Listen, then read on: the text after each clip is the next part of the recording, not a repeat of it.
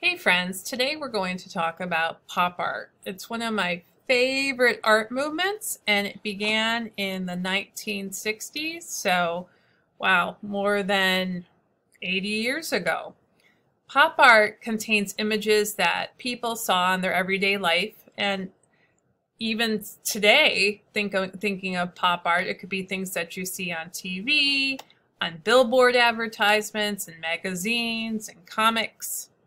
So these are examples of pop art from the 1960s. This is an old comic book cover, and this is a soup can, which is obviously Campbell's, one of the most famous brands of soup you see in the supermarket. And we're going to talk about the artist who painted the um, who painted this painting in a few minutes.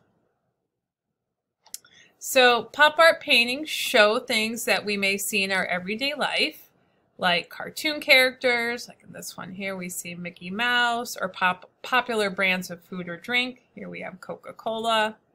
The paintings contain bright colors that you would see on packaging for food or for magazine advertisements.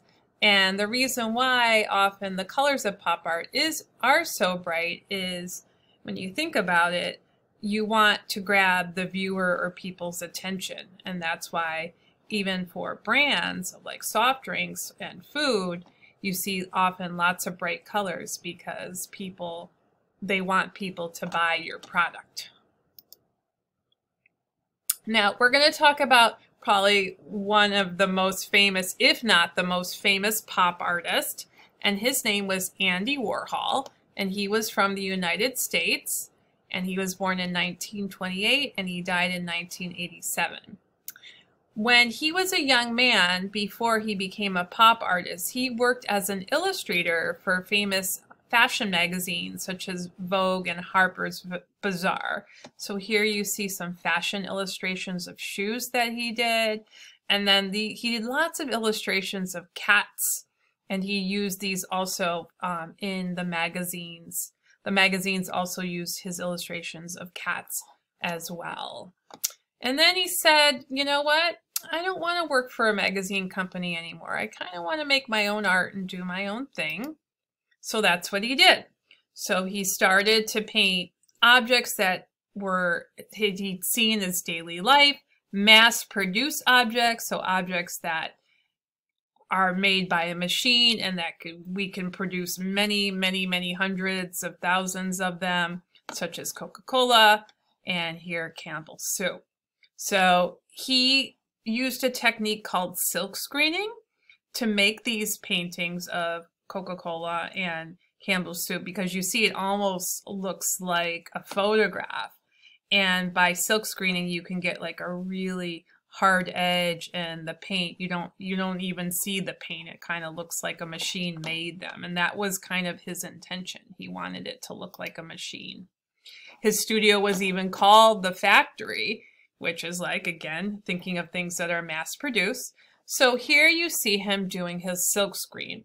So silk screen is it's like a screen. You see like you have a screen door or a screen on a window so there's tiny little holes in it and you create stencils. So he would place stencils on certain parts of the painting, the parts that he didn't want to add paint. So the stencil would block out certain parts.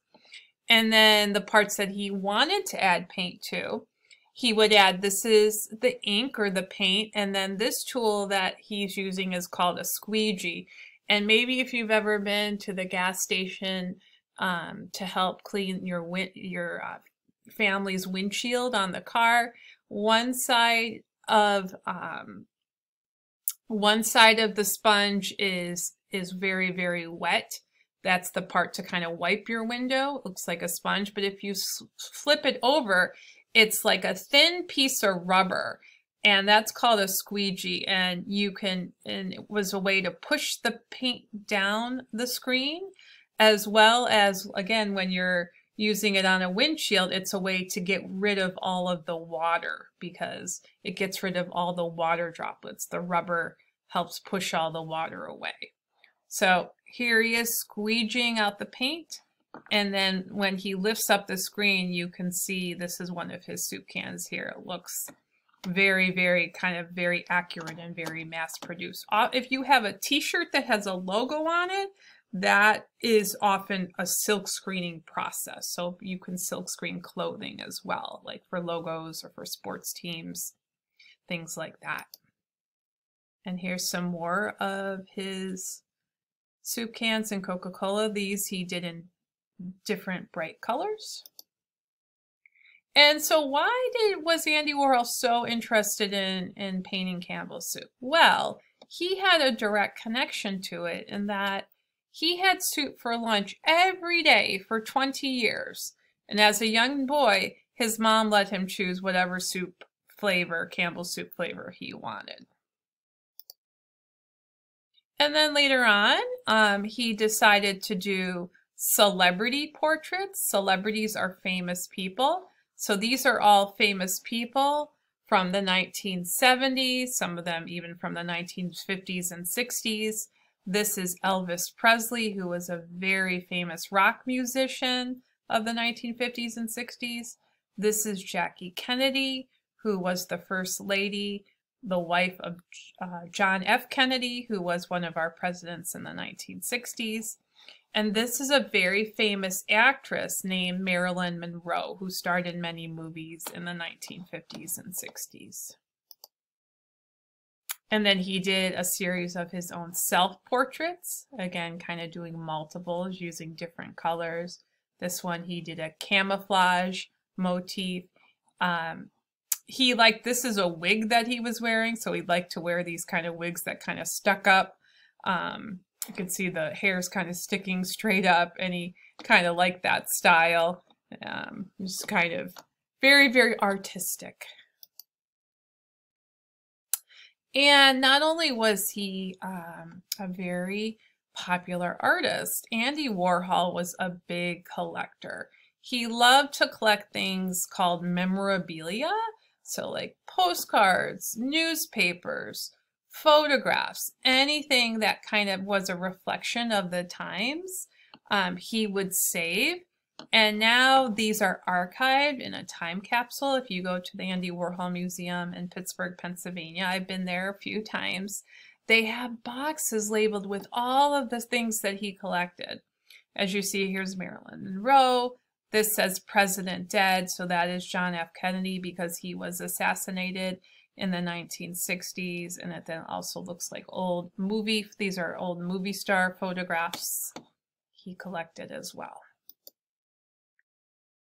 All right, so we are going to, um, hopefully you're inspired by the pop artist Andy Warhol. We're going to do our own pop identity portrait and that we are going to create our own soup can with that reflects our own identity. So how did the Campbell soup reflect Andy Warhol's identity? Well, he ate Campbell soup every day um, for lunch as a child, so he had a direct connection to it. Here's another pop artist, Roy Lichtenstein. This is his self-portrait He with a white t-shirt, looks like a mirror, and this is the style of um, that you would see. These are called Ben-Day dots that you would see in old comics. So it's an old style of printing. So again, that is the paintings he did as a pop artist, which kind of reflects his identity portrait. So it's very different than the actual physical portrait, what you look like on the outside. It's more things on the inside that reflect your identity, things that interest you. So we're going to be doing some brainstorming today. Um, in your art kit, you have something called a word web. And what I'd like you to do is fill it out. You can put your name in the center.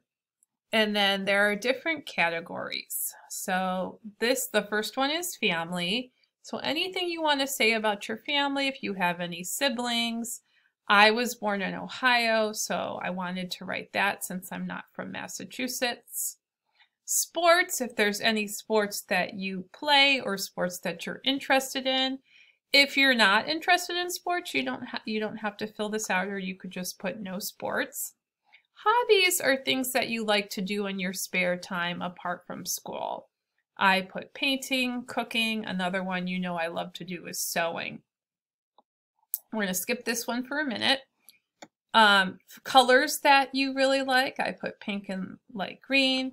If you have any pets or any animals that you really like, favorite animals, I here have one dog named Iggy. Actually, I have two dogs now, so this is an old version of this. So I have Iggy and Jack Jack, two dogs. And then up here it says TV, film means movies that you like, TV shows, music.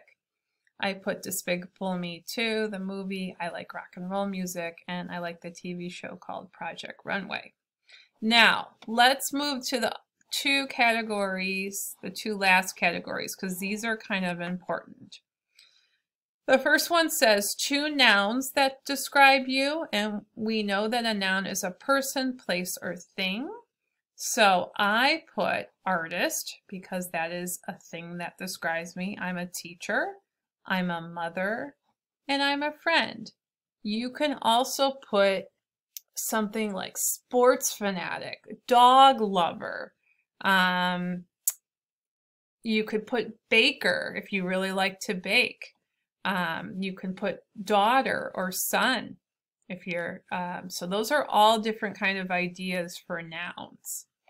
And then over here, we have two adjectives. So those are descriptive words. What kind of words describe you?